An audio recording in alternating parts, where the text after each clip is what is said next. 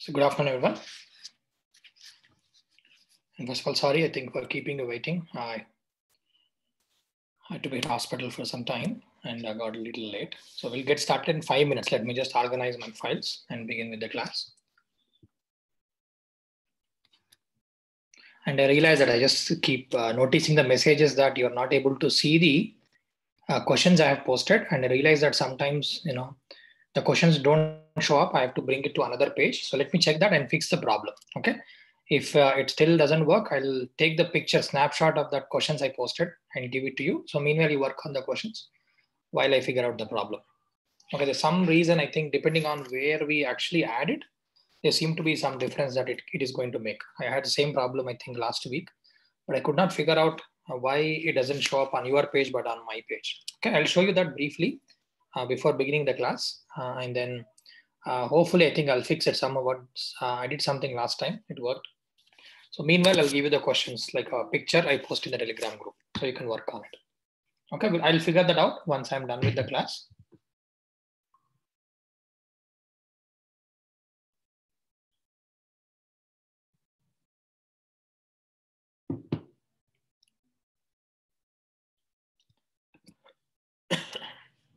Excuse me. Give me two minutes. Let me pull up my files.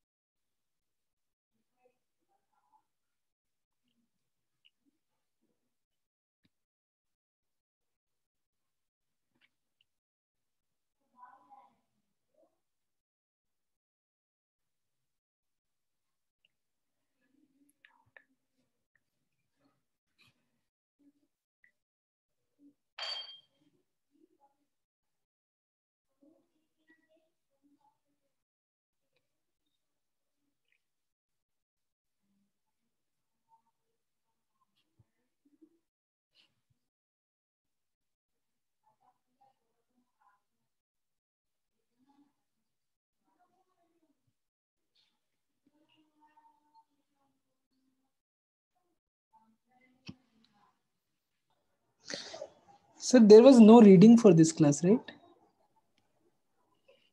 Same, same uh, uh, documents because the last document that I posted had information for this as well, right? So I posted one extra additional one after the last one. Yes. Sir. So one for pre-Darwinian theories, second one for the specifically La- Lamarckism, Darwinism. So for today's class, neo-Darwinism is also part of that. Okay, so there will be some additional components where I'm going to show you in the class, and that handout I'll post you after the, after the class. Okay.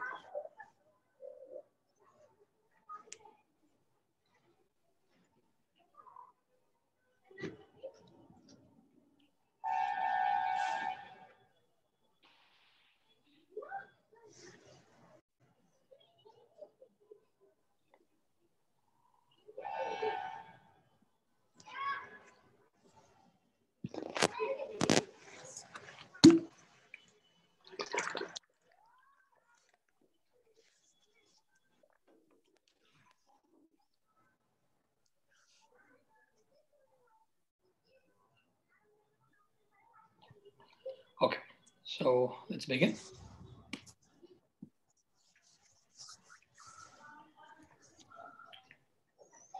Evolution.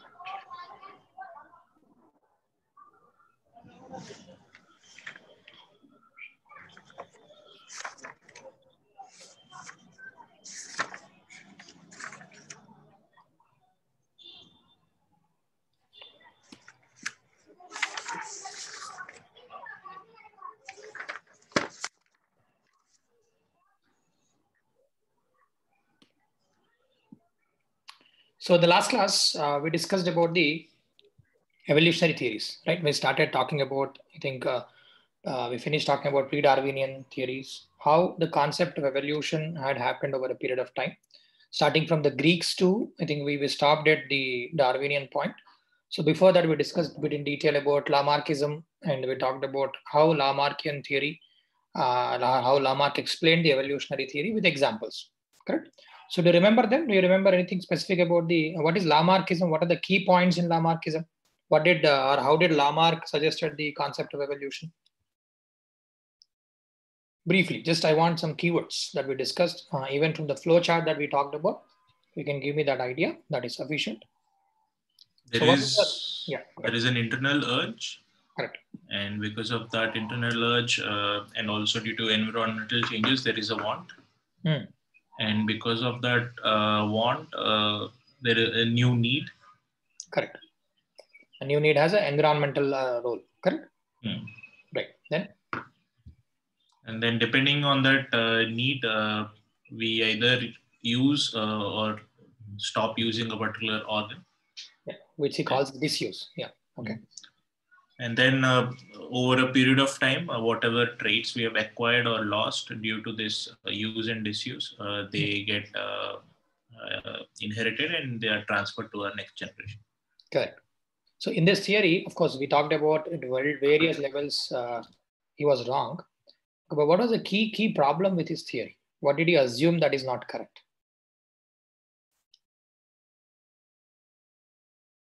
Anyone else, like Sunil, or anyone, whoever is comfortable. It's all right. Okay, don't, don't get intimidated. This is a practice. I want you to get comfortable with this. Okay, So we'll begin with the class. We'll ask these questions. It's all right. I'm not going to grade you on this. Okay. So his uh, his point of new organ, organs developing by new desire was Right. something. So desire very cannot create organ, correct? If you want it, like we talked about the example of if humans want to fly, can they fly? You know, aeroplane example that you gave is a different story, but we cannot fly by having you know wings that develop. So Arj cannot bring the you know wings, or urge cannot bring the new parts. Exactly. What else? His explanations were unnatural. Hmm. Okay, but something that stands out to me, I think one want cannot create that. The second one is you cannot inherit characters by attempting to do it, like Mhm. stretching the neck. Cannot modify the DNA inside the cells. Correct? The stretching will not add anything to the DNA component. It will not get inherited to the next generation. Correct? Because what we have been learning in cell division and other components, changes have to happen at the DNA level, but stretching the neck will not change the DNA. And unless DNA in, in the germ cells change, because germ cells what carry the DNA to the next generation, then what happens? Here we will not see any characteristics going from generation to generation. There must be something else going on here, which he could not figure out at that time. But he said inheritance of acquired characteristics. We acquire characteristics through need, urge, and those characteristics will move. But that's not the case. We talked about several examples, right? We discussed about several examples where people who build muscles, the children will not get the muscles.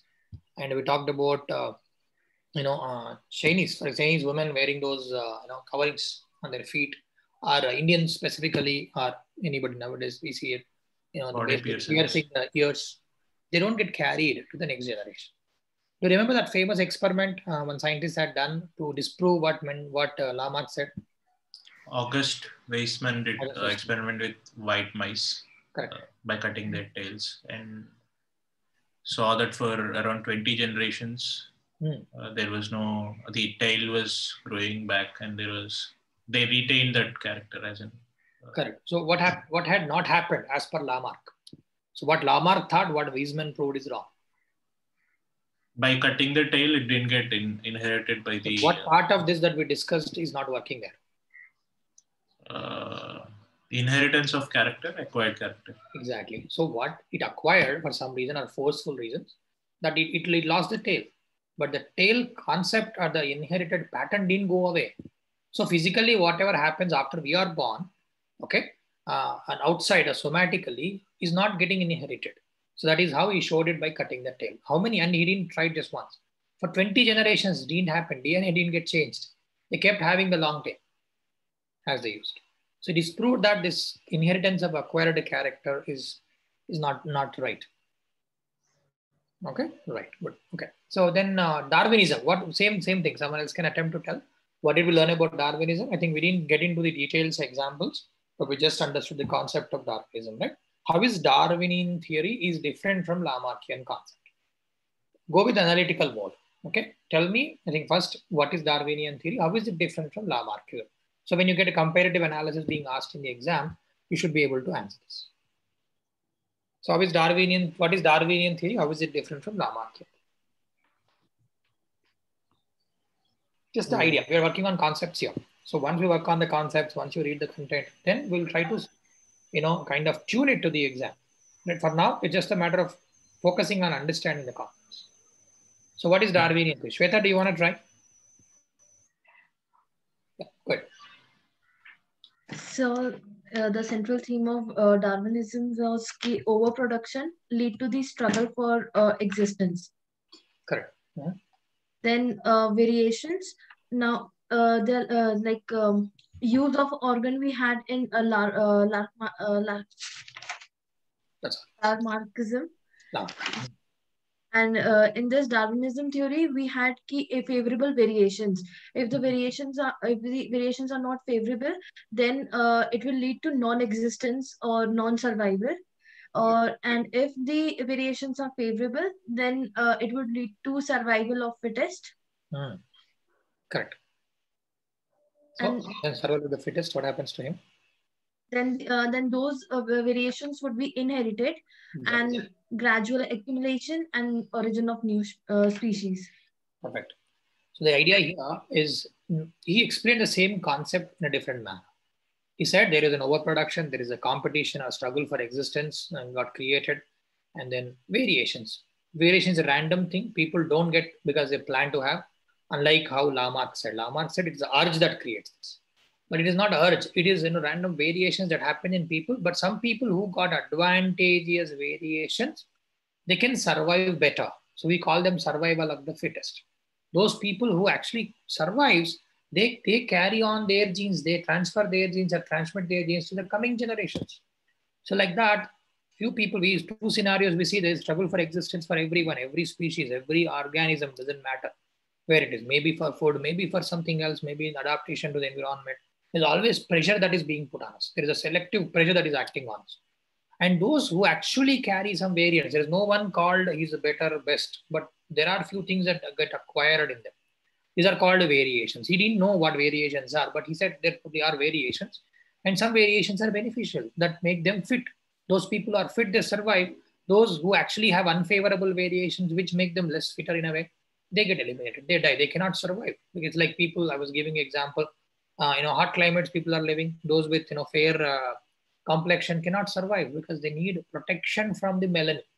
So they're at disadvantage. People who have some mutations where it somehow resulted in the you know, dark complexion, they are at advantage. They could handle the heat and they survived. When they survived, these variations got carried on.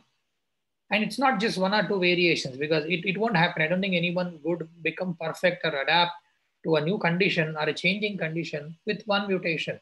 So they have to accumulate. So eventually what happened, many such mutations, beneficial mutations, again within them, if you really think about people get again eliminated from them. Not everyone again get the same mutations.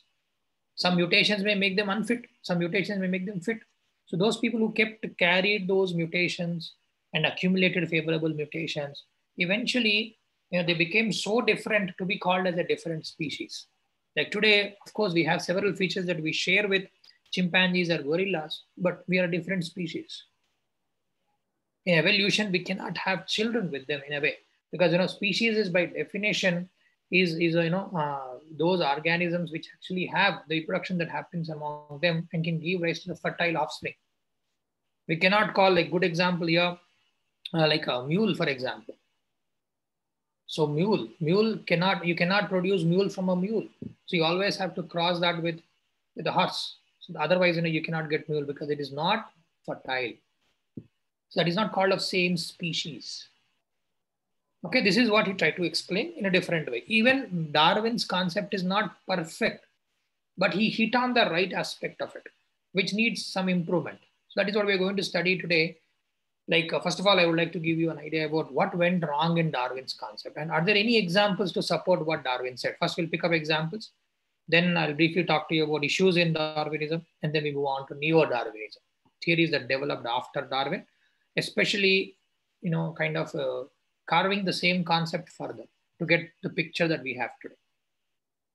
Okay, good. So can you explain the difference between Lamarckism and Darwinism? Talking about urge and versus struggle for existence and you know want are basically the stretch or attempt of strengthening the organs resulting in characteristics from somatic cells and being carried on. So here variations, what gives rise to those differences and not somatic cells, but the having those genes, those mutations in their DNA will be carried away in future generations. So at three levels, you can explain how Darwinism is different, but let's now talk about the examples of Darwinism. Okay. Sir? Yes.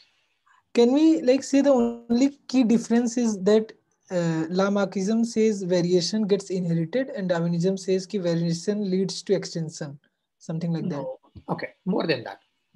So that is definitely variation is one common key principle. But what about urge? So what created the need for it? What created the need for either strengthening an organ or weakening an organ as per Lama? He said urge, urge for it, environmental need and urge. But here we are not explaining uh, with respect to the need, need that being, being generated. And more than a need, need also you can somewhat say that need is a common component. Need is there. Need is the need for adapting to something. You can even agree that need is there. Need is always there. But how you adapt to that need is different in Lamarckism and Darwinism. You don't adapt by either strengthening or weakening organs, but he said through variations. Okay, so that is one point. Second one, the one you mentioned, variations. Third one is how it gets carried to generations. He said it carried through somatic characteristics, somatically acquired characteristics, which is also not correct because our body part doesn't go to children. Only our gametes and the DNA in the gametes go to children. The third, those three things that you can talk. Yes. Okay.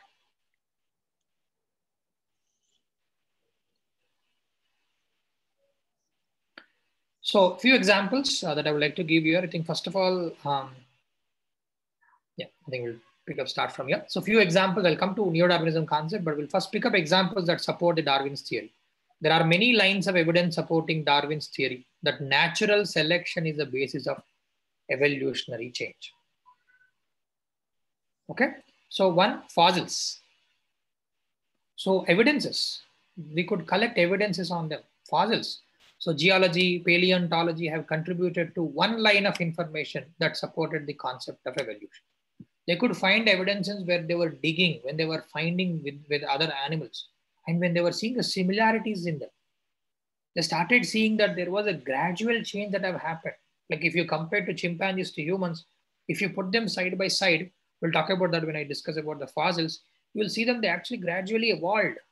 You could see a clear connection, gradual change in them so this was a proof that evolution was gradually happening through those characteristics which got accumulated over a period of time and inheritance of those characteristics. Okay, evidence embodied, embodied in fossils shows gradual changes associated with geological change. Over a period of time, gradual changes have taken place. If you see they go to the different layers of the earth, you can pinpoint that. When you put them, you know, meticulously together, you can see, okay, nose has changed, tail has changed, this component has changed. Face, facial changes that we see, facial modifications in humans as part of evolution, gradually changed from the prognathic faces that you know those chimpanzees or those organisms have from the more or less flat faces that we have today. So over a period of time, these gradual changes that have happened are evident in fossils. Okay, so this is what they uh, help them to conclude that progression of life forms that have evolved during the history of the earth and about the evolution relationships between various species. They're all connected. They didn't just come as it is or they're not fixed as created by the God as people believe. They were there, they slowly evolved into, they diverged into so many different types of species. Few terms I'll explain today. That should make a little bit more sense to you. But fossils, evidence of fossils showed the clear link between the organisms and a clear or gradual change in the species. We'll study this in archaeology classes where how we actually come to those conclusions. Okay, this is part of the handout that I've given you. I think in the first one, theories of evolution. Okay. Another example is similarities between embryos of different species. Similarities between different embryo, uh, sorry, between embryos of excuse me, different species.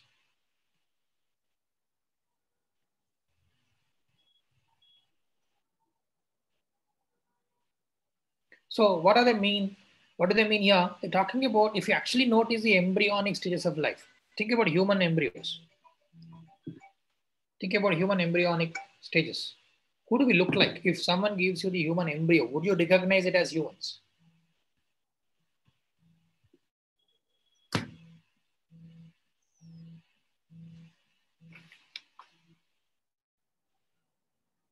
Would you recognize it as humans if you see the human embryo? What does it look like? Well, we'll see this in unit 10. I'm going to show you some images about how human embryos look like. But what, what does it remind you when you see human embryo? Humans or something else? If so, what is that? I don't know whether you've ever seen. I don't think even tadpoles. Tadpoles, right? They look more or less like fishes. Correct?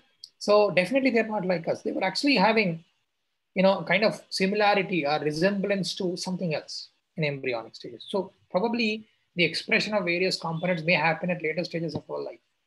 So this is what they see that. So there are stages in the embryonic development of related species. Of course, you cannot pick something entirely different and look the same, such as various species of vertebrates that reveal structures so similar among the embryos of these species. So the related organisms have the initial phases of their life, especially the embryonic stages of life, have resemblance. So this also hinted, we cannot directly prove that this is why it is, but it hinted that maybe there was a reminiscence of what you are or what you were in the embryonic stages. Okay, which is a little bit of weak argument, but still this is an example I want you to know. And you pick up what examples you want to write. Okay, uh, fossils, definitely something that uh, is in connection with what you study in archaeology is important. And we'll, we'll focus more on this, how fossils are, how do we come to a conclusion based on fossils? Because we do some sort of comparative analysis on unit 1.6 uh, and where we talk about quaternary fossils. Okay, so this is the one specifically if you want to write, even terrestrial organisms such as man poses in the embryonic stages what appears to be gill-like structures and a tail. So we have those fish-like structures, gills, we look like structures that, that more or less looks like gills and a tail.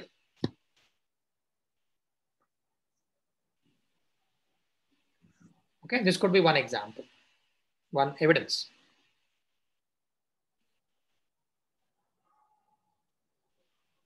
Another one, most important one, I think this is the most important of all, is adaptation in living organisms. Adaptation in living organisms.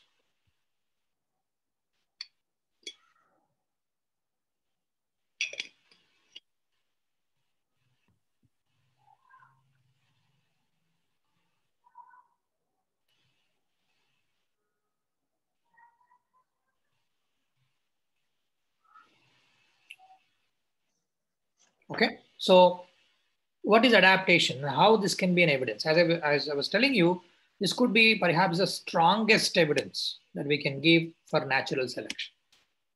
Is there really some selection going on or something like selection is going on? Okay, that can be seen when we, when we actually notice that there are several examples of structural variations and behavior patterns in plants, animals, doesn't matter you see that adaptability in them, the ability to change as per the environment can be seen in them. Okay, and which is adaptive are those changes make them or provide them advantage to live and habits and environment of the individual. So particularly these advantages help them to survive, survival of the fittest we said. Do we see those type of changes in organisms where it makes them survive better? It makes them fit or fitter to their environment. There are many examples. We'll talk about an example, first of all, about the uh, adaptation in coloration, moths in different environments. It is called industrial melanism. You want to write a term or title to the example. Industrial melanism is the title. Industrial melanism. I'll explain what that is. And here we'll talk about adaptation in moths to their backgrounds. So color change in moths backgrounds. So it's called industrial melanism. I'm sure you probably have heard about this. So simple concept, we have to understand the logic here. Industrial melanism is example for this and where ada moths adapted to their background. How did they adapt and what is their background? Let's have a look at that.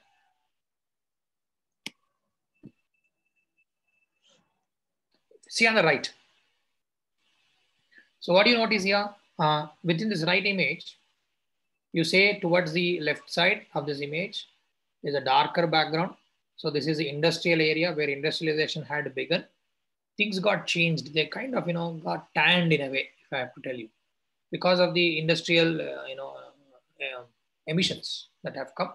So industrialized area had a little bit of a darker background compared to the agriculture area. Agriculture area was more greener and had a slight different diversity compared to the industrial area. Industrial area had a light darker background because of those emissions.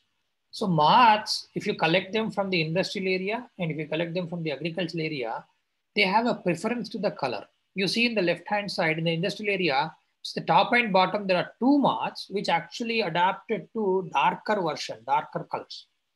For by any chance, if there is a moth which didn't have that coloration, you know, it would be, it would become a prey. It would become a prey, predator that you see here. A bird could easily spot it on the darker background, but it cannot spot the these two darker ones, darker moths you are seeing here. So what are we learning here in the industrial areas? The background became more darker because of emissions. And those moths, moths are these insects that you are seeing here. Okay, those who actually add variations in them to give rise to darker version of them, to give rise to darker version of them. They could easily conceal or hide in that background. And which was difficult for a bird that you are seeing, which is a predator, to figure it out. But in the same group, if there was one moth which, which had you know lighter color, which was obvious from the dark background, was easily picked up by this predator. So how is this connected to Darwinism? Here, this, these two darker ones have variations which made them look darker, which provided them an advantage. And these variations were advantages. They become survival of the fittest. They provided them the fitness here. So they could conceal in the background and they were not easily picked up by the predator. But those that didn't have these desirable or variations in them, they were easily spotted by the bird and were picked up. So they could not survive. So natural selection doesn't mean that someone is watching you. That if you didn't acquire characteristics, you are killed. It doesn't happen like that. There is nothing called, you know, not someone watching or uh, implementing natural selection. This is naturally happening. Like in this case, bird picked up this because it, the variations it had in this particular moth was not suitable. It could not survive in that environment. So this is a great example for understanding Darwinism. Those that who could adapt to these industrial areas through certain melanism. Melanism means adding the dark pigmentation. Melanin pigment is what gives rise to the dark darkness in us. So that melanin pigment was high in them. They survived because of that advantage. So they kept surviving in that environment for some period of time. Okay. Similarly, on the opposite case, if you see on the right, same variation is not beneficial to those that live in the agricultural areas. Agricultural areas, if they're darker, you can easily spot them. So these characters disadvantages to them. So same characters may not be advantageous to different environments. Okay, it's like this people living in America wants to settle in Africa. It will be very difficult for them. They get tanned every day. They even get burnt. Literally, you are, you see them because they actually get burnt. The Indians can manage here and there because we kind of fit in the middle. Right? You can go and survive in Australia, go and survive in Americas, Africa also. I think you find everywhere in the world wherever you go. I remember talking to someone from Alaska. They said, I find Indians everywhere. Wherever you go, you find Indians there. I think we are in the middle. We can get balance to either sides where possible. Is that true for all the mangolites or like?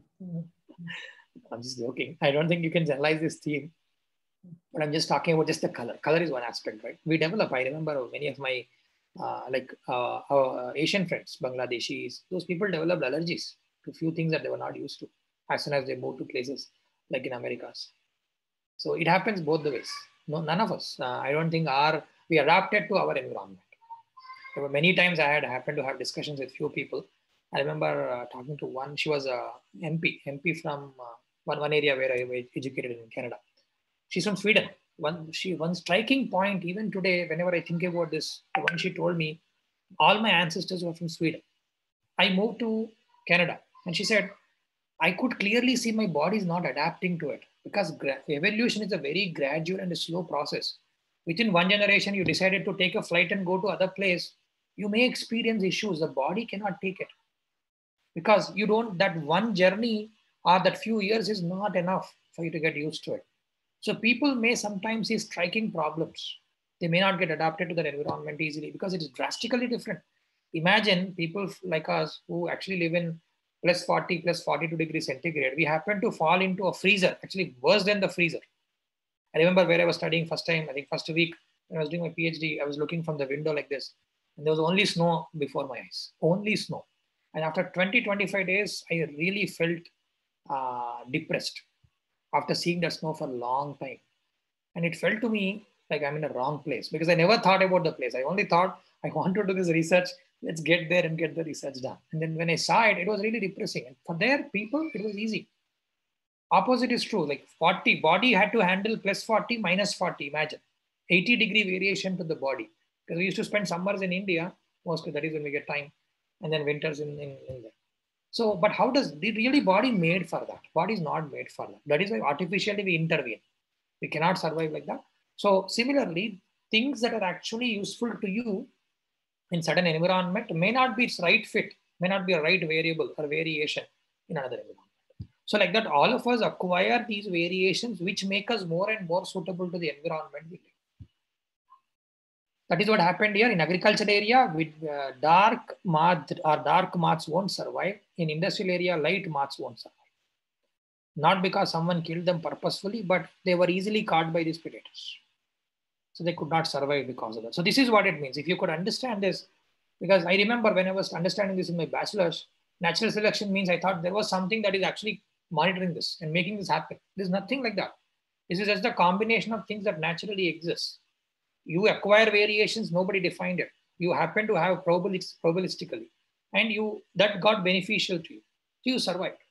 And here, something like that is eating up, eating them, it could spot you. So here natural selection is happening and your variations either are beneficial or non-beneficial or detrimental to, to your survival. We'll pick up more examples when we talk about uh, Amish communities, you know, genetic drift, we'll talk about population genetics, how this can get actually problematic to some people because of accidents. Okay, but for now, I think let's begin this concept slowly so you can connect better. Uh, is, is an example clear to you? Do you see that industrial melanism, what is it, what does it mean and how is it connected to Darwinism? Could you see the connection here? Sir, yeah. sir, did Darwinism also talk anything about like why the variation? Very good question. No, he did. That, that, like... is, that is the biggest thing. That is the biggest um, missing point in Darwinism. He didn't know where this is coming from because the main problem with Darwin was he didn't talk to Mendel. And Mendel, Mendel actually tried to talk to Darwin. There was a communication gap because we're talking about in 19th century, right? We're talking about the end of 1800s where there was no concept of phones. Indeed, they say that da- uh, Mendel wrote his work to Darwin. Darwin ignored it. It was sitting on his bench, they said. Mendel clearly explained his work, whereas Darwin was struggling because Darwin explained the overall process, but Darwin didn't know what was happening inside. Mendel knew what was happening inside, but he didn't have the big picture of it. So Mendel wrote his work and sent to Darwin, it seems, as for the literature, and Darwin ignored it. If Darwin had ever considered what Mendel did, they would have created a great theory already even 50, 60 years before what we are seeing today. So we have to struggle. Many scientists have to struggle because of the communication gap.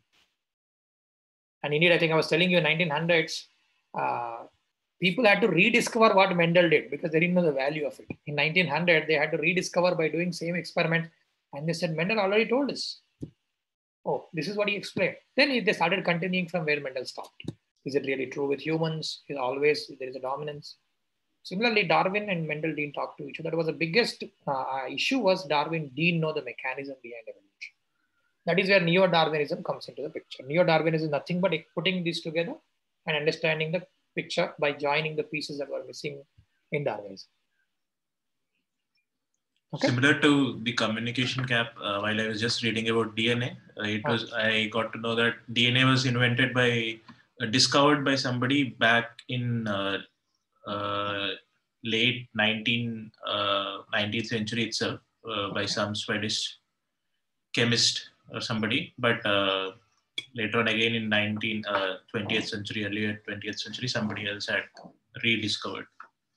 And Sutton, Sutton, I think, discovered chromosomes uh, and uh, later, yes. So, but of course, that is clear. At that time, they didn't have much uh, communication. I, I know that nowadays communication gap is much more than what, what it was. In the research field, I know that uh, people don't talk very much because of several other reasons. Don't communicate well because we forget our goal in science, what we want to achieve. And also the payment gates for all the uh, research publications where people cannot easily access those uh, journals. Correct. Even that's kind of it's, it's, commercialization because humans now the focus is this: how much money can we make by writing a paper, by by writing it in a publishing publishing it in a big paper because it's all like circular. Mm-hmm. Unless you publish in big papers, you don't get paid well. You don't get you don't get funding for it. So what happens? People want to publish in big big journals. Big big journals, and if your work is, of course, normally what happens? Your work has to be standard enough to get into those journals. But sometimes uh, people decide to spend more money, invest more money into it, they have to get the returns on that right? So they, they have to play tricks. Unfortunately, that is happening. So it is very complicated. If you really see the big picture of evolution, if you really understand, I think many things make nonsense to us. They, they sound very nonsense of what we do because we forget to see the big picture. We try to just do something as if we are only the uh, uh, you know species on this on this nature, and we are going to be here forever. Right? Okay. So example is is example clear to you? So regarding this example, uh, there was one uh, news article last month about mm. a about a plant uh, in the Himalayas. Mm. So due to lockdown, uh, its numbers have uh, increased a lot, and also it kind of uh, there are two reasons. One is because of the lockdown, people were not coming out. The other is it has adapted to the surroundings, as in the rocky background. Mm-hmm. Earlier, it used to be green, and a lot of people have uh, started plucking it. Mm. Now, uh, because of this variation, uh, it, it, it kind of bloomed a lot, and it was the paper quoted. Uh, this is uh, it, it, kind of uh, change, somewhat in very few years. Also, that is possible because their lifespan is smaller than us. In months, they change, they get generations. So those type of organisms, imagine in the laboratory, evolution can be figured out through microorganisms because they evolve every 20, 25 minutes, they generate. Right? For plants, at least with, before our eyes, we could see those type of evolution. But for humans, that's why we probably have to wait for millions to see the next next human or next whoever it is. Yes, there sir. was another example about frogs from South Africa, and they mm-hmm. were introduced into, uh, I guess it was in uh, Maldives or some some place. Their size decreased. So this is also in the maybe. So quoting these examples would be useful, sir, or uh, do we have to quote human examples? Okay. Uh, anthropology try to stick to, as far as possible stick to human examples. Okay, one. Second, first of all, at least mention the standard examples first, and then you add what you found. So that should add an advantage, but you should not just rely on those ones because if examiners are not familiar or not convinced. In this particular case, it is clear-cut evidence that you know plants adapted to the environments where you know humans probably have created an artificial environment in a way or through their activities, or frogs. They change the environment and they adapted to it. Right? So they make sense, but some examples sometimes if they're not standard, examiners may not like it. So put the standard examples and then add on top of it. So similarly, you have given example of uh, African elephants, tuskless elephants and uh, anthropogenic risk adaptation. Correct. Tuskless. So uh, because of poaching, so they, they ended up uh, giving, giving up their uh, tusks. Right. So before our eyes, we could see human activities have changed their environment. They were trying to adapt right? Yes. Okay, next most important one, another example I would like to give you adaptation. I think uh, I'll just mention it, but we are going to again talk about it in adaptive radiation. We're going to talk about a concept called adaptive radiation, but for now just mention uh, Darwinian finches or Darwin finches they call. So Darwin observed these birds uh, having different types of beaks. Uh, when he saw them in the Galapagos Islands, he found these birds and they all had kind of a common ancestor. He could see that when he moved from islands to islands, they actually had a common nature, but striking difference was in their beaks. And why he figured out the type of food that they ate, they got adapted to them.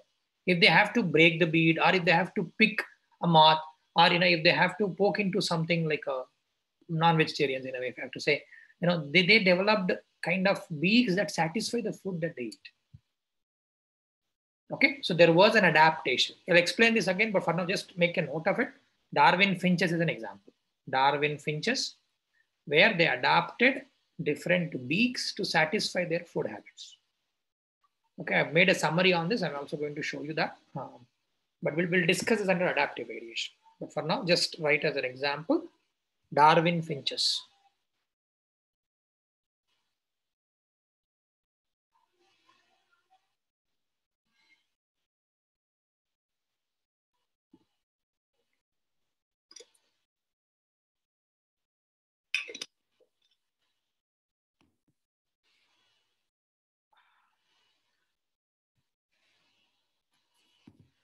Okay, right.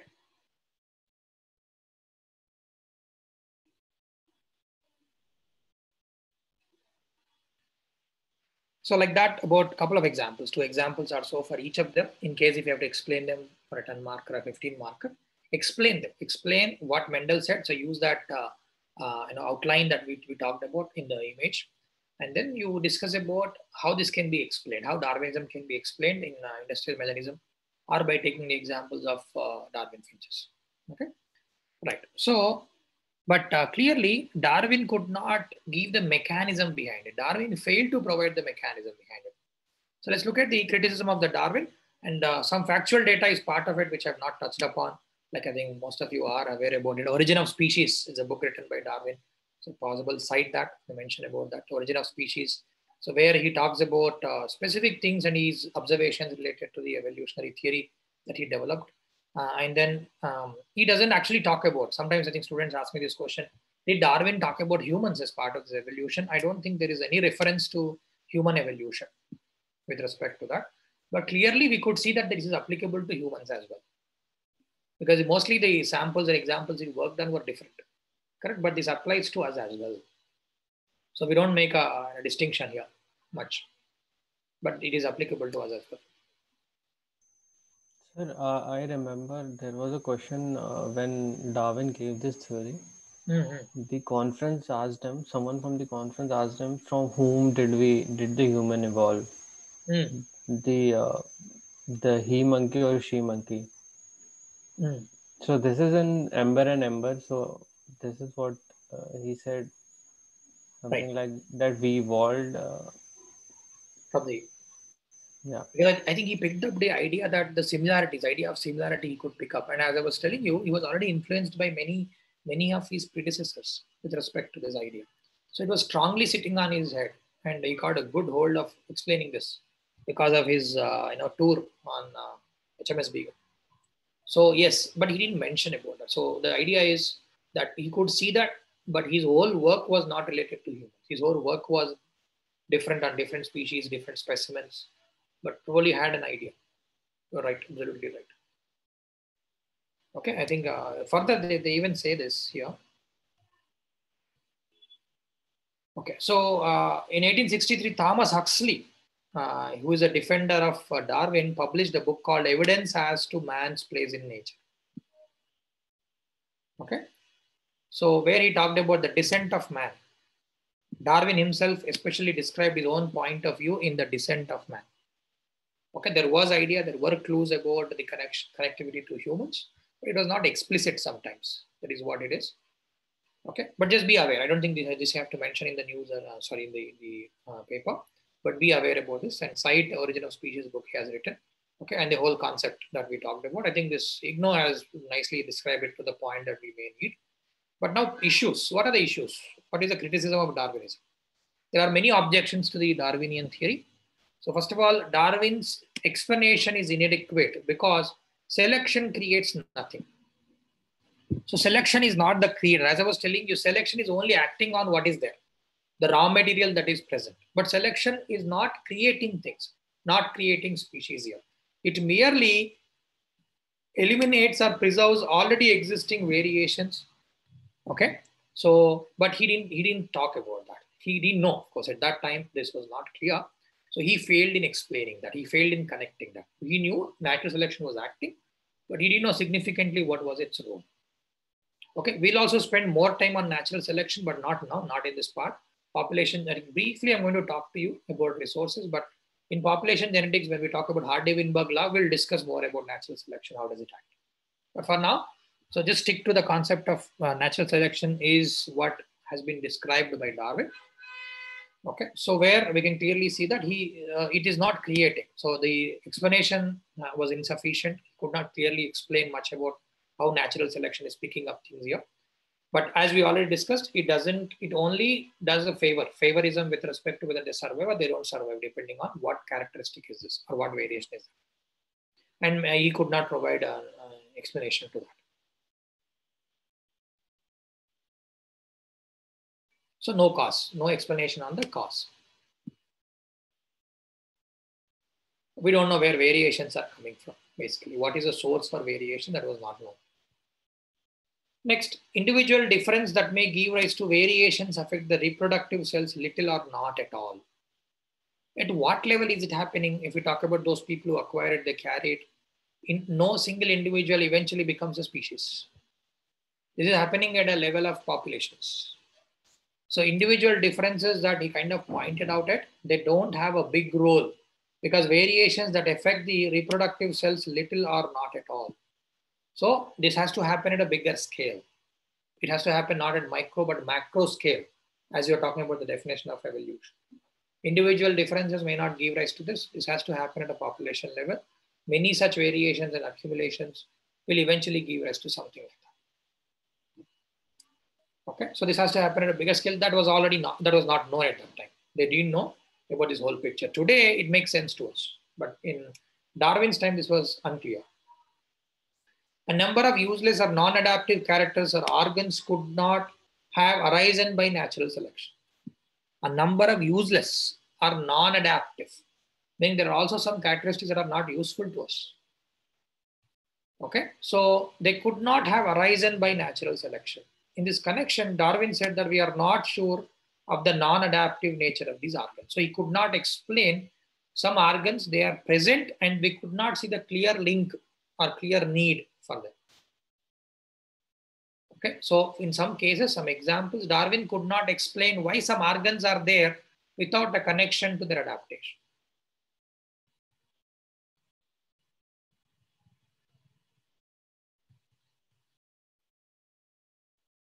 It's like we say appendix is useless to us. We still carry it. Why do we still carry appendix if we don't have, don't need them? People split on this theory. Some people say okay, it is in the process of evolution, it will go away. And some people say it, it has its own advantage. We may carry useful microorganisms. Some recent research had talked about the people, we may carry useful microorganisms, which is actually, you know, protecting our gut system. They say. So we don't know. It's sometimes difficult to come to a conclusion based on few experiments. But there are a few things that we don't need, but we still carry them.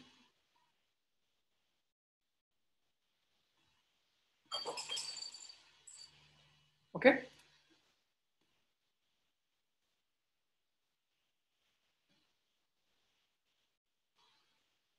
Next, over specialization. Sometimes there is no end to adaptation. They over specialize more than the need. So here they talk about huge antlers. So the antlers of the Irish deer, Irish deer has huge antlers. Okay, but there is no specific advantage to them. Then why are they over specializing? Why are they continuing to evolve? But again, we can take different routes here. And one attraction, they probably attract the mates, for example, or they look fierce so that the uh, enemies don't easily attack them. There may be multiple explanations that we can give.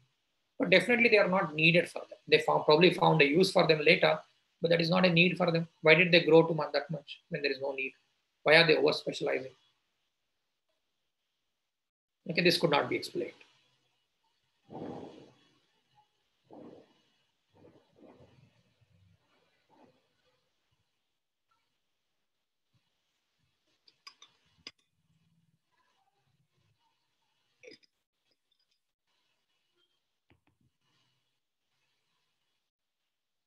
Okay, so these are some examples of issues. So these are key ones are this. Key one is the, we could not explain the cause or the reason behind the uh, variation. This is a key example here. And natural selection is merely acting on the source, the material that is present. So otherwise natural selection by itself cannot create evolution unless we provide raw material to the, the process. This is also what he could not clearly emphasize. And, uh, and individual, individual level variations may not give rise to the evolution like that. So there has to be uh, accumulations of variations that are happening in, in population, large scale of populations, eventually giving rise to new species. And over specialization could not also be explained. Okay, so I think this should be sufficient. We don't need to get into, or we will not have space basically to write, uh, describe these type of components. If you cover the aspects of, you know, uh, what the overall theory of uh, evolution given by Darwinism, examples for them, shortcomings for it. Okay.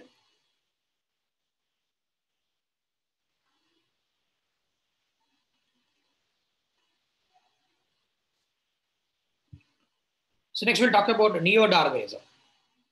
So this is the next topic in this uh, because we finished now before Darwin and Darwin's time. Now we are moving after Darwin.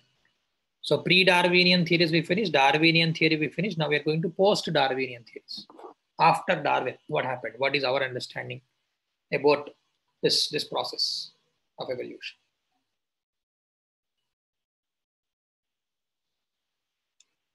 Okay, so neo-Darwinism, sometimes you know uh, differently called. I made a brief summary on this that I'm going to share with you.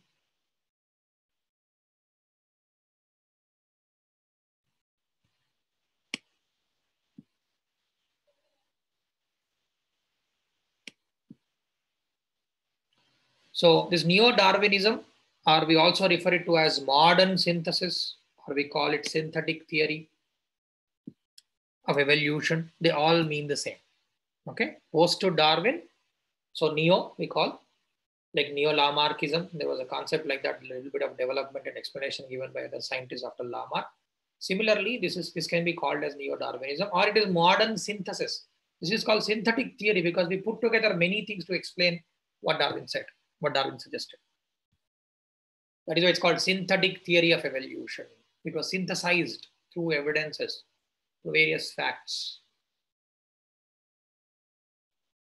But how did we come, come up with this? With the synthetic theory of evolution. This is essentially combination of Darwin's theory, combinations of Darwin's theory of natural selection and Gregor Mendel's understanding of or explanation of inheritance of characteristics, along with evolutionary theories developed early 20th century by various people, field biologists, population geneticists, molecular biologists. Once the molecular biology kicked in, like knowing the DNA, knowing the proteins.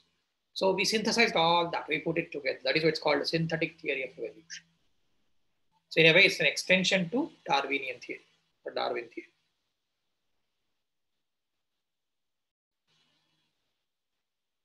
And we refer it to as neo-Darwinism or modern synthesis or synthetic theory. Few names you may have to remember here, few examples of names I'll give you here. And I'll explain you briefly how today's evolutionary theory is shaped.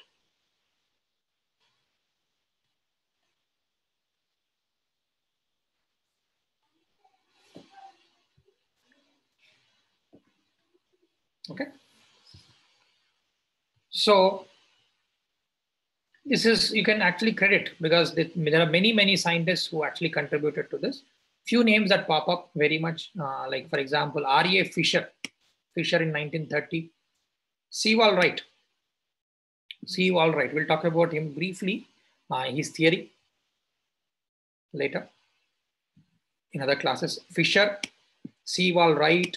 This is part of the handout that I'm going to give you. Understand the concept. And uh, JBS Haldane. JBS Haldane. Okay, plus few others. So this uh, these people may, came up with the key theories, and then few others have added to that. So mostly uh, Dobzhansky, Dobzhansky, Dobzhansky. Okay, so few names come up. Uh, I don't think you can remember by heart all those names, but mention few of these names. There are about six names or so. Fisher, Sewall Wright, Haldane, and then Dobzhansky, Ernst Mayr, and uh, George Simpson.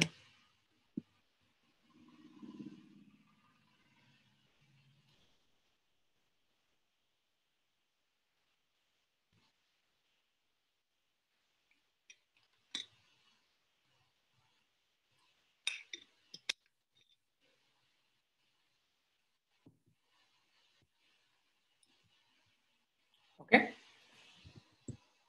So, as I was telling you, this is a combination of understanding of uh, contribution from various people.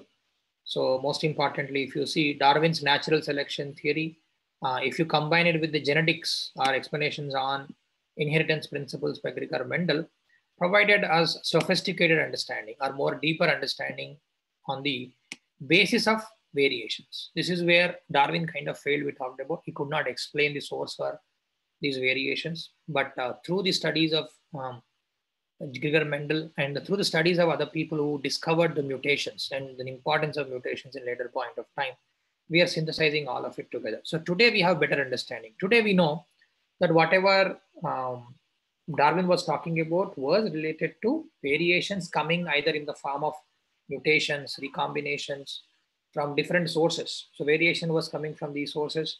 And what Mendel talked about was also becoming clear to us uh, because uh, we now know the DNA, we know chromosomes, we know genes, we know what Mendel was talking as unit factors are genes. And uh, we know that variations that uh, Darwin was talking about, mostly mutations plus something uh, more other things. Mutation plays a key role, very, very important role because new changes happen through mutations. Recombination only results in combining new forms from the existing forms. Okay, so now we know that uh, after DNA has been identified, a genetic material has been identified. Now we know how traits are passed from parents to offsprings in the form of this DNA. And identified genes as discrete elements with the DNA, what Mendel called as unit factors. Okay, and although largely or faithfully, DNA maintains its instruction within the organism, but still variations do happen, changes do happen, and we call those changes as mutations. Sudden heritable changes by textbook definition, these are sudden heritable changes in DNA. Those changes that happen in them, which gets carried on. So mostly the changes that happen in the germ cells. But in theory, we also call any change in DNA as mutation. But in reality, as per the textbooks, it is those changes that happen in germ cells and which get carried to the next generations. So now we know that today the mechanism, molecular mechanism behind evolution. Okay, and in neo-Darwinism, so we believe that after all this understanding, that natural selection is or plays more important role than mutation. Mutation is the source and natural selection you know, plays an important role, sometimes creating new characteristics in the presence of genetic recombination they eventually become clear to you. It's a combination of variations plus natural selection that has to work together. Okay, and natural selection kind of, you know, looks like as if it is filtering out the things. And many people actually have thought, many scientists have actually thought that genetic variability in natural population was so large that any genetic change could occur by natural selection without waiting for mutations. So people have thought initially or in the process here that we have enough variation among us. So there's no need for changes or no, no need for new changes, new variations in us. But eventually people found out either mathematically through their calculations that the gene frequency change by mutation was much smaller than the change by natural selection. So they understood now that natural selection has a bigger role because uh, mutations that normally happen can change the gene and genotypic frequencies. Here we're talking about the concept of Hardy-Weinberg law. We have a dedicated unit for this. We're going to discuss a bit in detail about the mathematical calculation, very simple math Okay, but explains how variation happens in a given population and how these factors that we're going to briefly talk about in today's class uh, can influence them. These are called environmental, or sorry, evolutionary factors. Factors that influence the evolution. So definitely, I think it is a role of natural selection plus mutations, but importance of natural selection gained more attraction these days. Okay, because uh, the variation that we have is sometimes limited. So definitely we need something like natural selection for helping to sort it out. Okay, so now after all this, we define evolution as I think I already told you briefly about that. So evolution we define now as sum total of genetically inherited change in the individuals who are members of the gene pool of a population. Now we are adding a little bit of more, you know, uh, mechanistic view to that. So it is sum total of all genetically inherited changes in individuals who are part of that population, who are part of that gene pool. So here we are referring to, unlike what Darwin talked about, here we're referring to a group, group of people or populations we're talking about. The changes that they have is accumulation that happened for generations. Okay, and when we say gene pool, gene pool means all the genes in a population. Gene pool means all the combined genes in a population. We normally refer it to as gene pool, pool of genes in a way.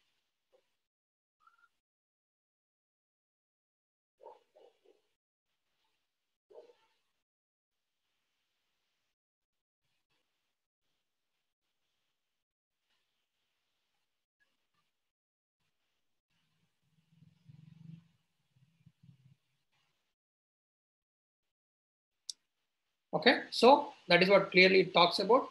It is clear now that the effects of evolution are felt by the individuals, but it is the population as a whole that actually evolves. This is a key point you have to make a note of in neo-Darwinism that you have to write. Is uh, I think we're talking about that in the Mendel scenario. It was not clear to us that whether it was a group of organisms that were evolving or individuals have any specific role.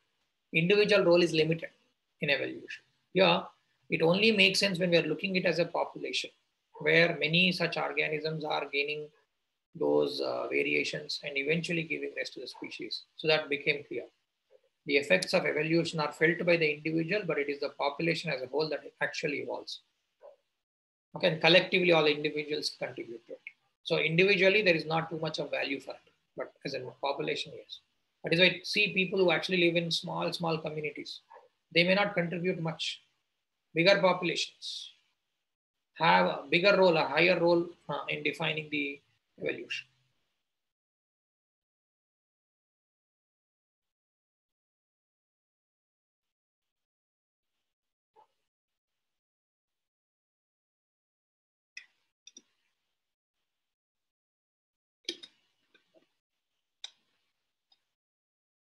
Okay, so many such examples, I think we'll, we'll figure it out in population genetics chapter.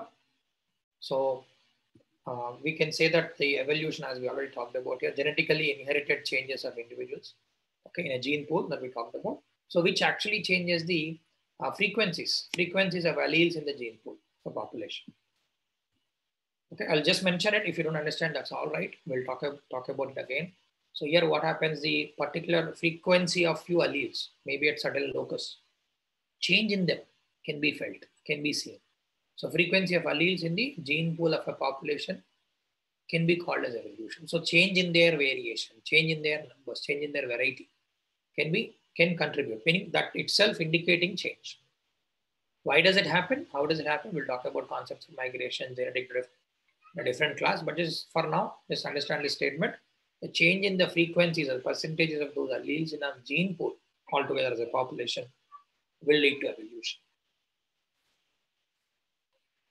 Okay, right. So also the, the modern uh, synthesis talks about the definition of species, where species is, I think I was already briefly talking to you about this, reproductively isolated group of organisms that share a common gene pool. So they're reproductively isolated. Different species means they don't share, they don't exchange their genes. They don't mate basically and don't, don't carry the genes. So that is why they're reproductively isolated. And they have their own common gene pools. So like humans have their own common gene pool, animals, like specific type of species of an animal, like horses, for example, chimpanzees, for example, have their own gene pool, meaning they exchange, they contribute to that gene pool and to the variation of that gene pool. Okay, right. So, like as you see, the picture of Darwinism got bit clear. A Darwinian theory of evolution got bit clear. Now we know the mechanism, one we know the various factors, now we know what type of role the natural selection is playing, and where are mutations or where are variations coming from. Mutation is one source, but it is the change in their frequencies, allelic frequencies through mathematical calculations. One could show that as evolution is happening, as many factors in evolution acting on this gene pool, it is evolving. Or you can figure out the evolution is taking place. For that, many factors have to work. Okay, natural selection is playing the key role. Okay, so there are three aspects that it clearly lists here. There are three mechanisms, the three, uh, the modern theory of mechanism of evolution differs from Darwinism in few areas, especially in three significant aspects. What are they?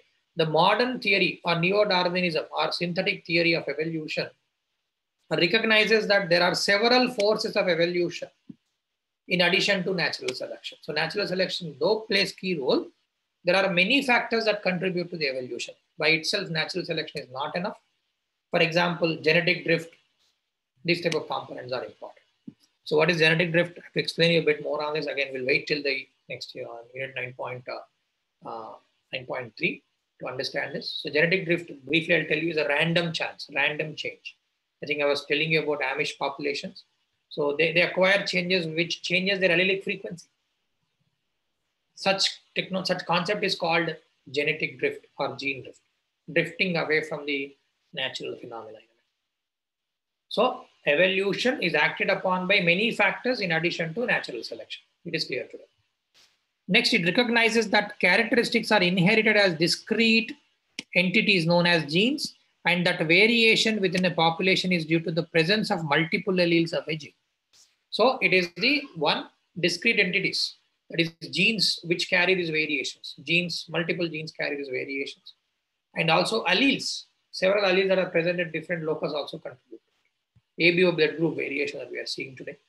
That is because of multiple allelism that we discussed. Right? So, but basically the carriers here are genes, which was not known. So that is the mechanism. There are variations in what? In genes. Genes are part of DNA and characteristics are defined or redefined by these genes. And redefine definition of that happens because of acquiring of variations. How variations happen? There are multiple reasons, multiple Uh, factors to that. I'll briefly talk about them now, but otherwise we'll put more emphasis in another class. Next, it suggests the formation of new species is usually due to the gradual accumulation of small genetic changes. So species eventually give rise to another species through accumulation of these changes, but gradually, incrementally happening in them. There'll be a time where there'll be enough such accumulations happen in them, such variations gets accumulated, resulting in something that is distinct from what we are comparing it. Because already I talked to you about humans versus chimpanzees. We have a lot of similarities, but we acquired enough variations to be called as new species. And we are reproductively isolated from them. Okay, this is basic summary of what we talked about in this uh, paragraphs here. This requires a bit of explanation. That is why I wanted to put a little bit, little bit time on this in explaining this. But is it clear? Could you could you explain this in the exam? You don't have to describe all these things. The description is for you to understand to follow. You can mention a few names of the scientists that who were behind creating neo-Darwinism and why is it called synthetic theory of evolution and briefly describe these key points. What is our understanding about this? We found out the mechanism, or we have no idea about the role of other factors in addition to natural selection. And we know that now it's gradual accumulation of these characteristics eventually lead to a bigger change together. And this has to be considered at the population level, not at the individual.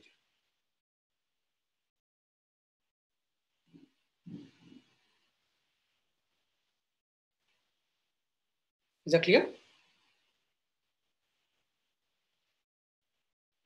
When you go home, read it and see if you got stuck anywhere. Sometimes when you're in the influence of teachers, everything sounds right. When you go home and read, you'll see where you got stuck, where the logic kind of is missed.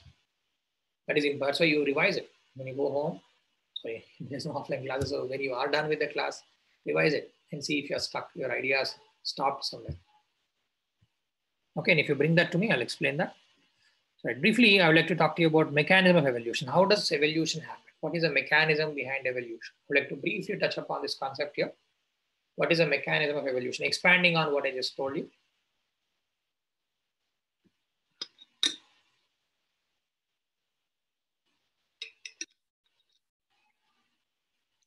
So as per the synthetic theory, evolution takes place in two stages. What are the introduction of new variations in a population? Introduction of variations in a population. The second one, natural selection and the other factors that act on the variation. So first of all, variations have to happen and they are being acted upon by the natural selection plus few other factors. Okay, so what are the sources of variation then? Sources of variation, the first one we're talking about here is mutations. Mutations.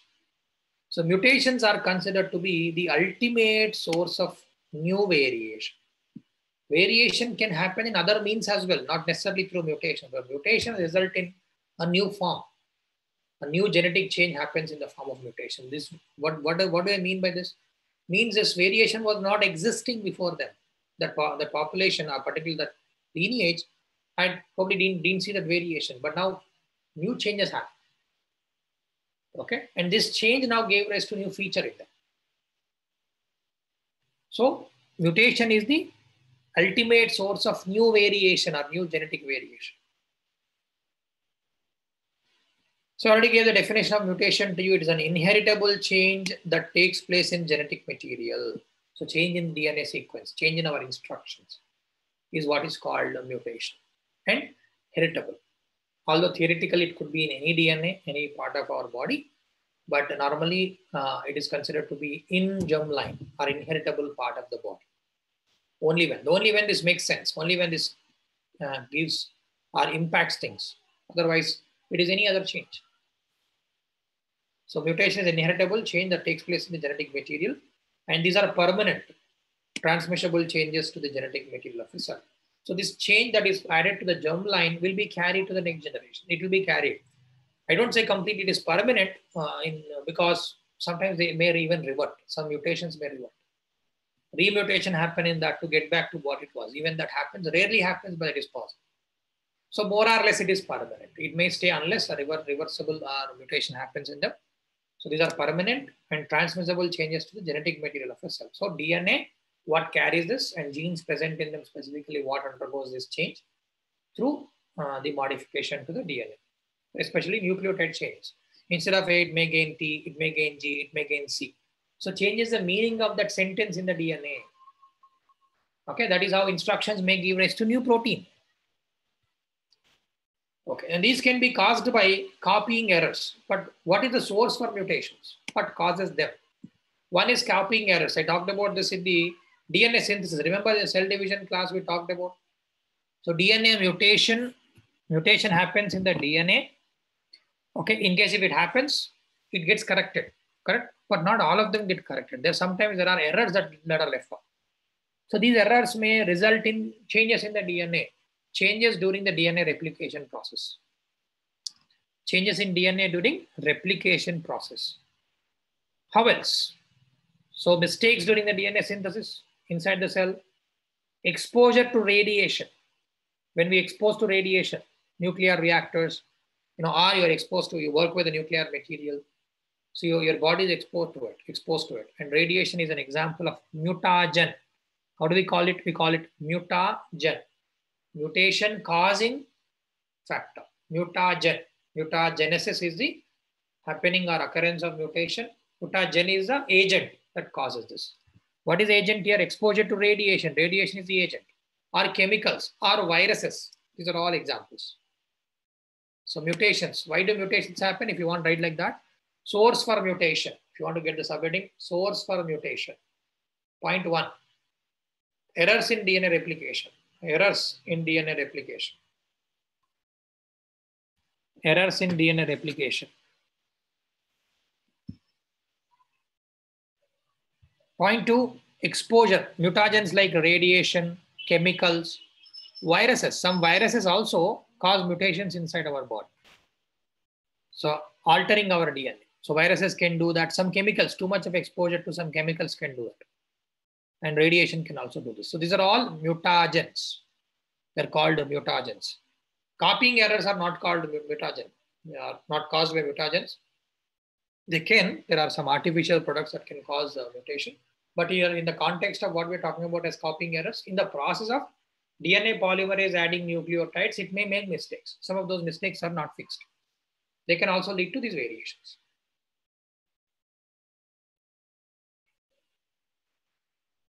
Okay.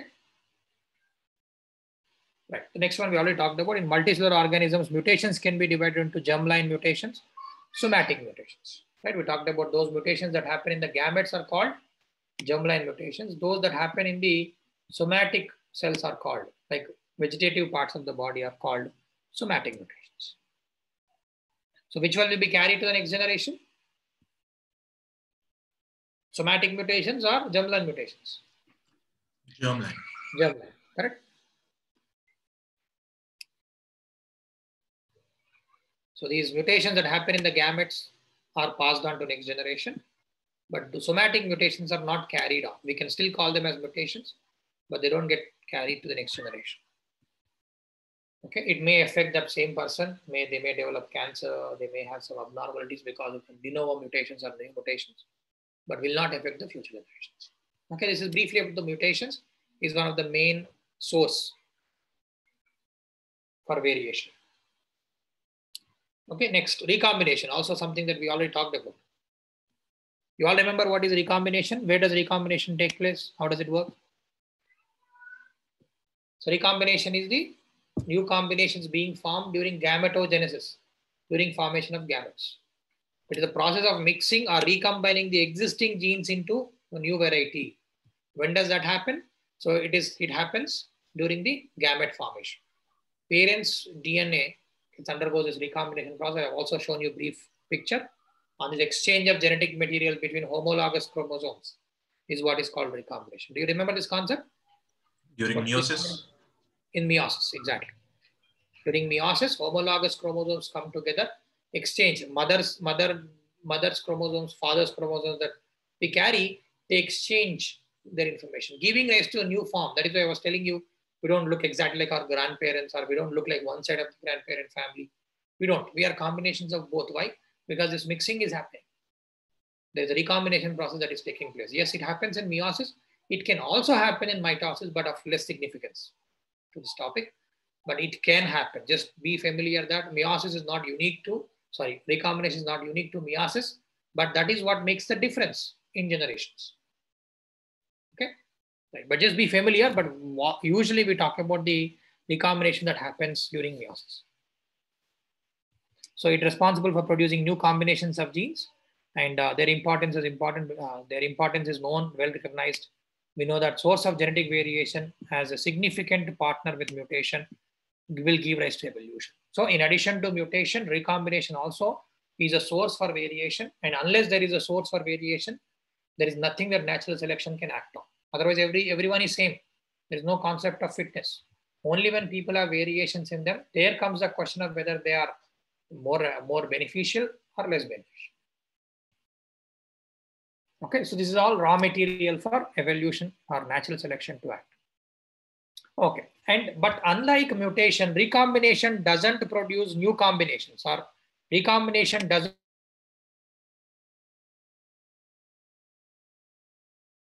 What do I mean? Parent, parent features will be combined together, will be exchanged. You won't look like exactly mother, you won't look like the father, but you are the product of father and mother. Okay, but it doesn't create entirely new change. Mutations can create new change. That is a basic difference between recombination and this. But still, despite of that, even creating that new varieties or new combinations is enough, is, is uh, useful for natural selection to act in evolution. So what it does basically is a rearrangement of the existing genes, not creating new genes. Like good example is blood groups. I don't think recombination has not created new blood forms, new blood group forms. But what has created new blood groups? Mutations in the existing blood groups. Maybe there was only A blood group and B blood group. Maybe there was only A blood group for everyone. A underwent mutation that gave rise to B allele. A became B. Allele A became B allele. So we started seeing new blood group. Like that, we probably have now variations because of mutation. So mutations create these new characteristics. Recombinations cannot. Recombination can create new combinations, not new characteristics. Do you see the difference here? What is the basic difference between recombination and mutations with respect to variation? Mutation can create new variation or new, new characteristics, but recombination only rearranges them and creates new combinations.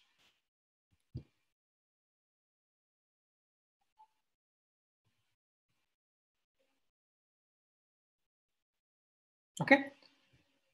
So I briefly talked about this here. Is it possible to explain uh, both of these using uh, same example as in using blood groups? Can is it possible to explain? Uh, no. Okay. Why? Uh, one specifically, like they we are talking about blood groups. Uh, the idea of explaining blood groups is maybe there were fewer or only one type of blood group to begin with. Mutation in that version gave rise to new blood group. Okay, A, B. Later, combinations of A, B have happened. But combinations of A, B is hard because of recombination, because recombination exchange of similar uh, alleles happen. So when homologous genes are actually exchanging things, either you get A or you get B. You don't get both A, B. There's a parent with A blood group, gene coding for A, and another parent with the B when there is exchange happen, A switches here, B switches here, but we will not get both A and B. But they carry, recombination will carry the gamete from, in the, so that's how we, we give rise to gamete called egg.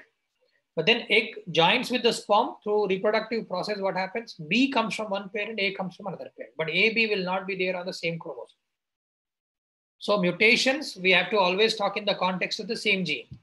Recombination, we have to talk in switching of the different genes meaning the same homologous, but you either have A or you have B. You cannot have both. So because of that, we cannot explain them together because they are events which results in different products. One, just changing the existing gene. Another one, bringing new combinations. Okay. All right. So yes, I think this is a core idea here. So if you read it, you will understand the majority of the things that we discussed already. This crossing over process results in unlinking of recombination of parental genes. Okay, so meaning basically it switches the genes from different parents. Crossing over does not occur in asexual reproduction and this type of recombination is not part of asexual reproduction. Somatic cell where multiplication happens. Unless there is sexual reproduction of union of the gametes, this process happens. The offspring receives new combinations of genes that did not exist in either of the parents. So they, they generate new combinations of the genes, which doesn't happen.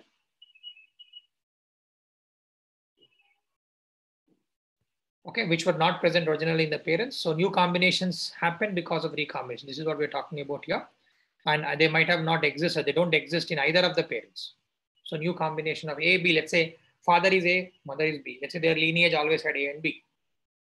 Now they give rise to AB blood group, which was not existing before.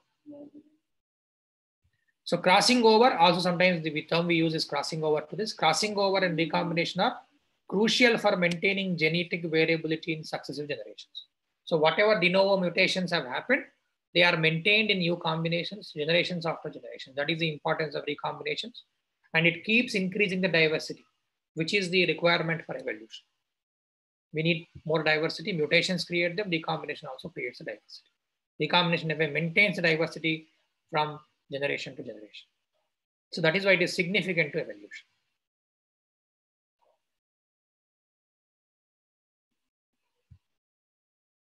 Okay.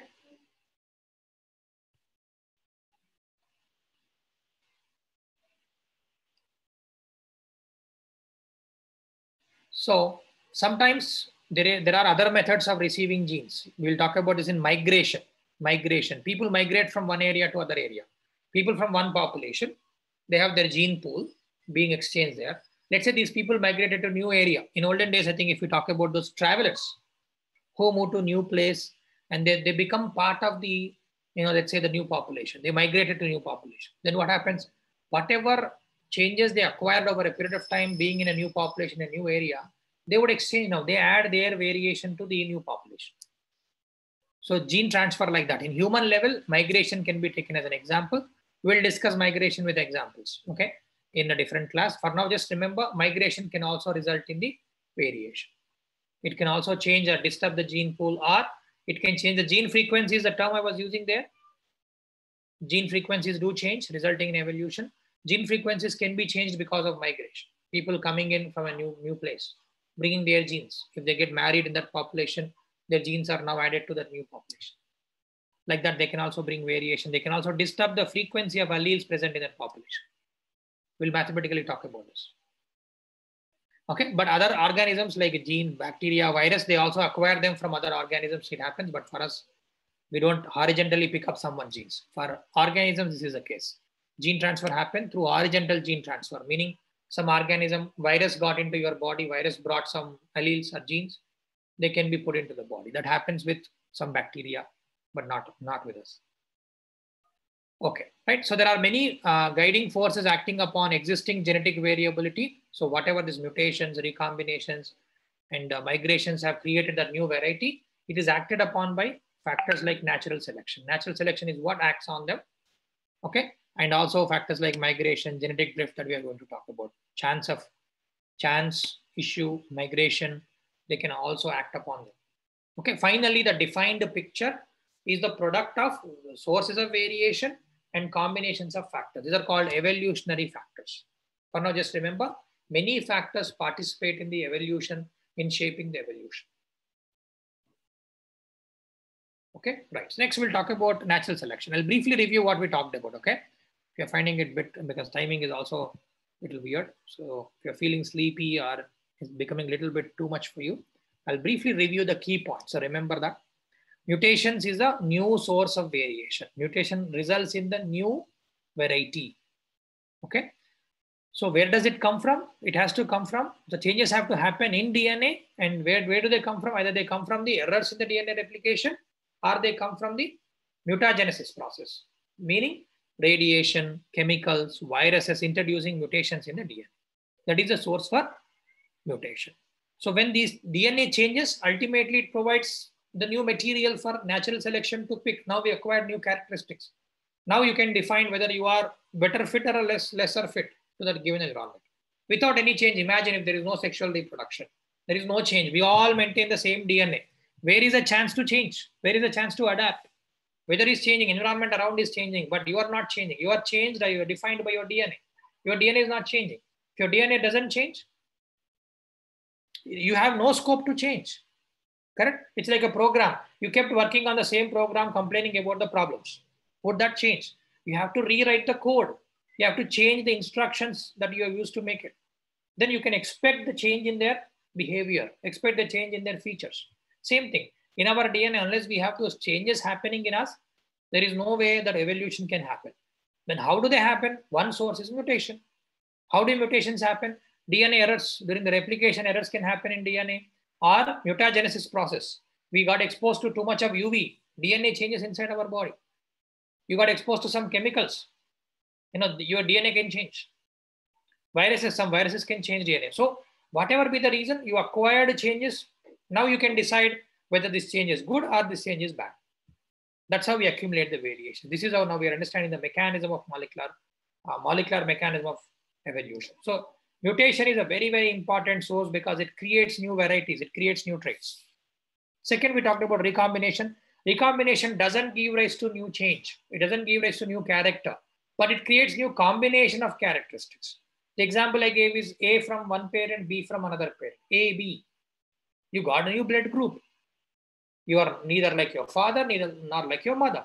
You have a combination of that. A, B blood group you receive. So only recombination can result in these new combinations. But let's say your parents got mutations. One, one parent got one mutation, another parent got another mutation. You inherit those mutations and you, you maintain those mutations in coming generations. So recombination is a process that helps in maintaining this variation.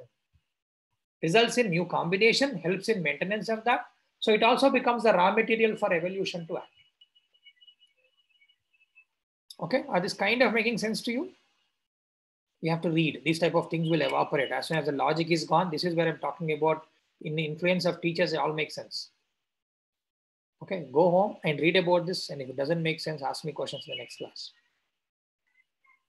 Okay, right. Um, read this. Also, I was telling you other components like migration, genetic drift also play a role here, along with natural selection in uh, resulting in defining evolution. So it's many factors which was not known at the time of Darwin, which are clear today. Okay, finally, natural selection. So natural selection is a principal guiding force of evolution. So as I was telling you, these are all variations, there are different sources of variation, but natural selection has to act on them. Okay, although Darwin described the contribution of natural selection to is in his biology, evolutionary biology book on the origin of species. Okay. However, Darwin did not fully comprehend or explain how it operates. So he knew, he mentioned about natural selection, but he didn't explain how. So as mechanisms of genetics were not known at that time. So natural selection favored those features of an organism that brought it into more efficient adaptive relationship with the environment. Simply, natural selection favors something that is beneficial. Beneficial characteristics. Okay, melanism, industrial melanism example that we talked about. What it what favored it? The darker pigmentation has favored that in the industrial world. So natural selection favors those that make you fit. Through this process of natural selection, species become better adapted to their environment. They get better adapted to the environment because of that, because environment will define whether it survives or not.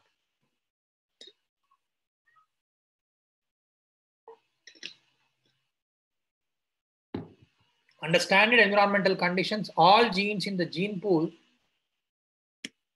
of a population come to equilibrium. Okay, under standard environmental conditions, meaning nothing drastically changed. Temperature has not changed much or anything, the source of food that not, not changed much. In that, more or less all genes, like you know, individuals, if we're talking about a blood group, for example, genes in that population will not change. There is no need to change. They stay as it is. We will not have new blood group being formed unless there is a need arises for that. So genes in a given gene pool and a given population stay in an equilibrium, meaning ratios don't change, their numbers don't change. Meaning overall population size may increase, but percentage of them don't change. At this, and this equilibrium is maintained, and we maintain that equilibrium. In other words, gene pool frequencies are inherently stable and do not change by themselves. So this is basically talking about Hardy-Weinberg law. So the gene frequencies are maintained at an equilibrium. Unless there is a need, unless there is a factor acting on them, they don't change. They maintain it. The gene or allele frequencies will remain. For now, just remember, uh, when I'm talking about frequencies, they are numbers, the percentages. 50% of A blood group, 50% of B blood group in a population. We're talking about does that percentage change in a population? Unless there is a need arises, unless there is a factor acting on them, they remain same. You count how many people, like the next 10 years, you count how many Indians have A blood group, how many Indians have B blood group. They will have 50% A blood group people, 50% of B blood group people. If there is a change, you saw 70% B blood group people, 30% A blood group people. There must be something that is acting on them, something that is moving the equilibrium equation to one side. So instead of A side, it is going to B side, let's say 70% B, 30% A. Like that, some factors have to act to bring that change. So the gene, gene frequency or allele frequency will remain unaltered, unchanged, unless environmental mechanisms such as natural selection, mutation, cause them to change. So unless they cause them to change or add changes, there is no need. They stay like that without any change. This understanding was largely developed through mathematical equation developed by Hardy and Weinberg. So this, this is the topic that we are going to discuss where we'll discuss more on natural selection. I'll briefly repeat what I've just talked about. So what is natural selection? It is a principal guiding force of evolution. Although Mendel talked, sorry, Darwin talked about this in his book on the origin of species, he didn't explain how natural selection acts. What is the mechanism behind this? Okay, so natural selection along with mutation makes it possible to adapt and along with other various variation sources, it makes it to adapt to the new environment. So these are the guiding forces. Under normal conditions, there is no need to change. Nothing changes. Example I gave you, if you have A blood group person, your generations will remain A. Your generations will remain B. In a given populations, if not exactly generations, because generations, of course, are combinations. In a given population, let's say small example, if you take in a classroom, you pick up examples of people or a small colony, you pick up, nothing has changed in that colony. You have same people, you never allow anyone else to come into that colony. Like you're a small island, you're in a tribal, like in an area where you have restricted access to it those people will maintain that gene pool. The, the alleles will remain more or less same unless suddenly that weather has changed. They, they're experiencing too much of heat. Maybe few, few genes in their body may change. Or people started moving to that area. Or people starting going away from that area. You are adding, you are introducing variations. You are introducing some factors. Only then there, there's you see some sort of variation happening in the gene pool. Gene pool is a collection of genes. Okay, we'll revisit this concept. I know this is a bit too much for you to understand here. We'll revisit this concept. Okay, the idea here is to just this. Now we have a better understanding about evolution compared to what Darwin had described, what Mendel himself had described the genetic principles. Now we are synthesizing this as part of neo-Darwinism. And as part of neo-Darwinism, we understood that sources for variation is important, natural selection is important. They both have to work together. What are the sources of variation? Mutations, recombinations are good examples. And natural selection along with genetic drift, migration, Together, all these factors define evolution. And evolution means change. Here, simply we are saying at the bottom of natural selection, if there is no need to change, changes don't happen.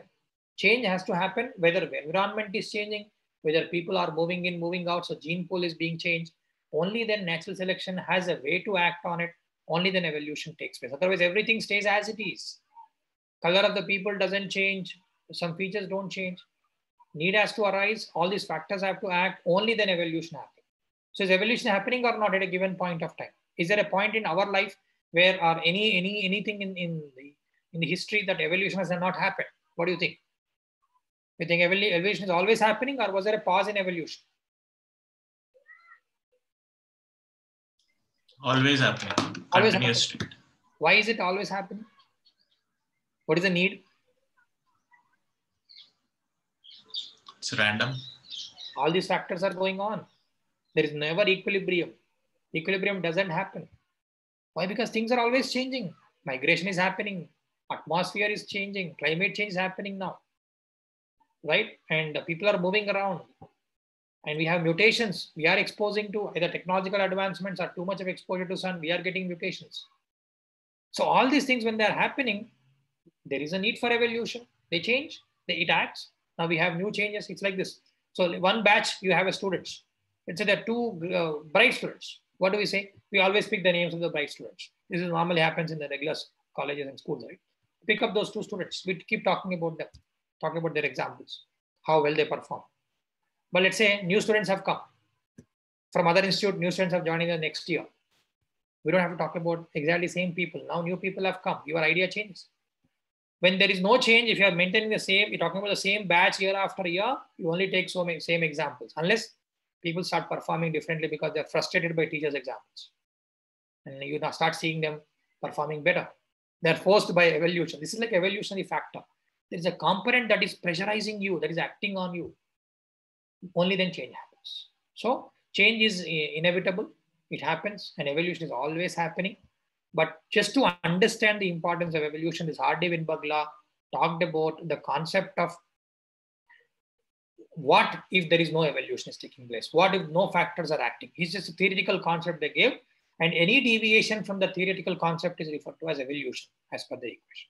So it's a very good tool to calculate the process of evolution, which we'll talk about. I think if, uh, as I see that there's more connection, we are going towards the direction, I might start with population genetics to explain this better. Okay, we'll see how well our discussion goes. Right, I think uh, this is where I'll stop.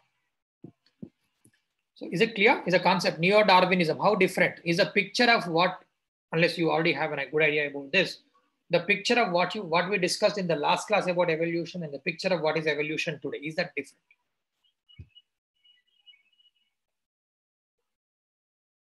Yes, no, unsure. I see your faces with question mark. people who knew less about evolution, let me ask them. People who studied less about evolution, knew less about evolution. From our last class, from our discussion to today's class, was there any difference in the picture that you got about evolution? I know more content, more burden, more strain, but anything else?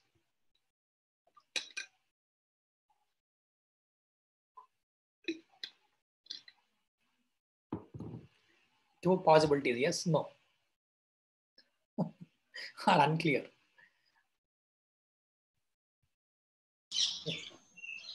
Have some understanding of evolution. Yes. That's why before. I didn't ask you specifically. Yes. because you said you have some background in this, right? So I didn't have any understanding of evolution. Like I had like general readings, like which which we all know, like mm. about Darwin and everything. So mm. I, I had just heard about it. Mm. I had a lot of interest. So I found the previous lecture very interesting. This one, I think, uh, because uh, the latter part was a bit difficult for me. Um, one more thing, sir, I think, uh, like the reading before uh, the lecture you gave, that mm. helps a lot that helps like increase the understanding exactly and that was something which i missed in this lecture because this this notes was not available to me no this I was read, uh, read once no, i put it yes i put it i put it after the last class i uploaded this this this so the, no no not notes sorry sorry sorry not notes you're absolutely right this notes i don't think i uploaded so that that helps a lot, sir. But otherwise, sir, I found it very interesting the whole process of like yeah, both. I think you brought a really good point. Uh, one because uh, yes, so some some aspects are complex. In the last class, what we discussed about was knowing like we are not getting into the details or specifics. There it was just knowing the the process of how things have evolved, how thoughts are evolved. It was more a generic picture. But today we got into the mechanism because things got complex as we learned more about them. So the picture I gave today is a bit complex. That is why I was also admitting that this is a bit complex, but we'll get a little bit more insight into that. There is one more topic where we are going to visit this in a different dimension. We're going to talk about Hardy-Weinberg equilibrium. And there we are going to revisit this concept. Okay. But I agree with you. But is the picture different? Yes, it got complex. That is what I think you're agreeing, right? It got complex and yes, understanding and explaining the concept takes little bit of time and more effort. But for now, just remember the statements I gave in the class. I think by the end of population genetics, you will get a better picture about evolution. And when we go to the uh, human fossils, evidences, then it gets a bit more better. So it is going to synthesize actually. It is gets synthesized over a process of time. So one explanation like this, one class like this will not give a complete picture because they all have little complex ideas embedded. It will take time. But I agree with you, totally agree with you. But is a picture that is forming is more complex, correct? You agree with that? So it will eventually become clear. Okay. Right, good. Um, so I think I wanted to just show you that I posted these questions. Uh,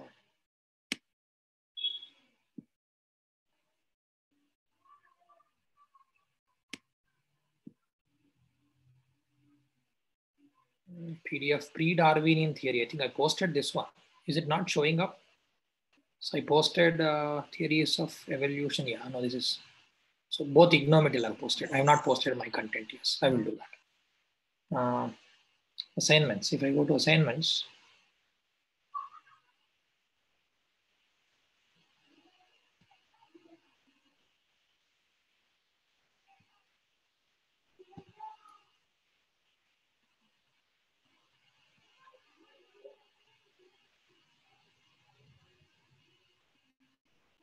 yeah, this is what it shows. Practice assignments, practice questions and assignment I've posted. So these two questions I've posted here, but it is not showing up on your page. No, there was something to it. But uh, yeah, I posted this yesterday.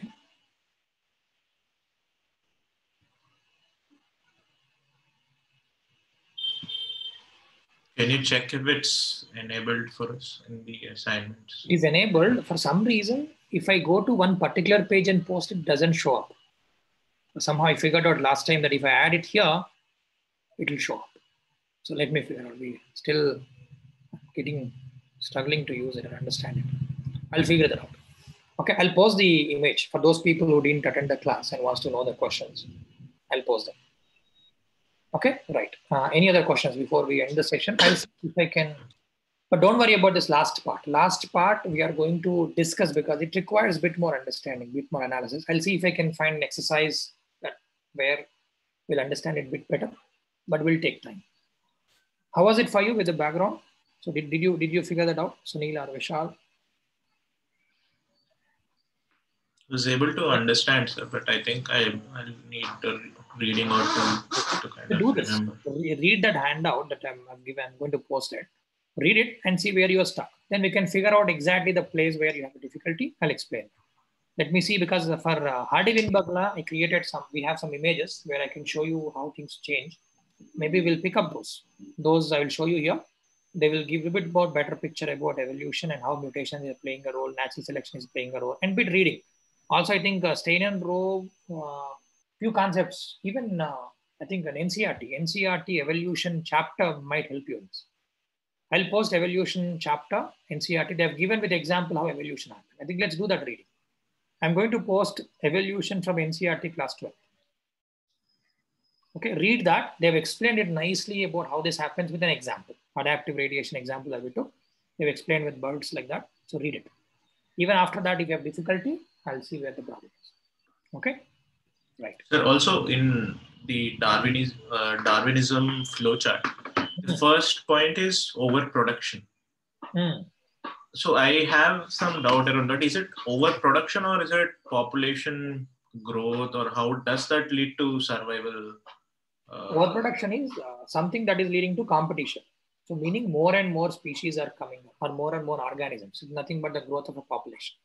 Okay. So when population is growing, so overproduction refers to that development in terms of population. Then more number, more number creates uh, competition. So it's overproduction of organisms for production of organisms. Or you can replace that saying that growth in a population. As the number of a population increase, competition increases. There comes the features. Features would stand out. People with better features, better perceptions, better ability to pick up information would survive in the competition as well. Like that. Just going just going over the differences between uh, Lamarckism and Darwinism. Mm the first one is internal urge and the in darwinism it's struggle for existence hmm. and then the other is use and disuse but uh, for darwinism it's variation right. final is inherited through somatic cells and the other is through germ cells exactly oh. use those words instead of saying germ cells somatic cells acquired somatic acquired uh, transfer of acquired characteristics or inheritance of acquired characteristics those terms are standard for what Lamarck uh, has been using. So use those terms, but concept is right. So it's inherit, inheritance of acquired characteristics, then the other is inheritance of favorable variations. Right. Inheritance of acquired characteristics is standard. Favorable variations, you can use those desired characteristics get inherited. That is all right. That part is all right. But the key term in Lamarckism is inheritance of acquired characteristics. But conceptually there he was thinking about somatic cells. Here we are thinking, talking about germ cells.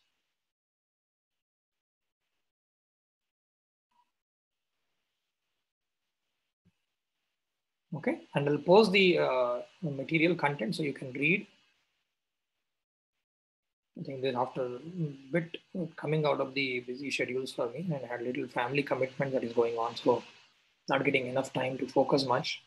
I think by this weekend I should be free. So from Monday onwards, uh, I'll put uh, like those material beforehand so you can read. Most of it I did, but I didn't think about this this part. So, uh, also, are we fixing this time frame for classes, or uh, will we be doing from five? What do you think? Do you have preference? Like I can I can do it five from next week. I think three is good uh, because it's early, but I don't know about others. Unless you have any preference, people are attending the class. Do you guys have any preference between three o'clock and five o'clock? Sir, uh, not a preference, but can we reduce the time and fasten the lecture because it becomes difficult? I mean. Sure. So if you are catching up, I don't mind speeding it up. Okay, so we can do that, and uh, we'll stick to half an hour less than one and a half hour because uh, I find it difficult to sit continuously. Even me. Even it's difficult. Yes. And at this time, I mean, it's so sleepy time. I mean... mm. What about you, Nikhil and Shweta? So, sir, I basically I, am studying along with my work. So this gives me an excuse to leave the work and join this lecture. So I I say that okay, I'm on a Zoom call, so I cannot attend like office or something like that. So for me, it works somehow, and it gives me some extra time also. So I don't mind. So you don't mind at it at three also. Okay, Shweta, what about you? The three. So stick to three, and uh, I'll reduce. I'll reduce the time. Okay, I'll reduce the time. We'll speed it up because I think, as I said, now slowly. I think since last couple of classes, we are feeling that connection. We're able to understand, follow things. Right? That happens initially. So initially, I, I prefer to be a bit slow.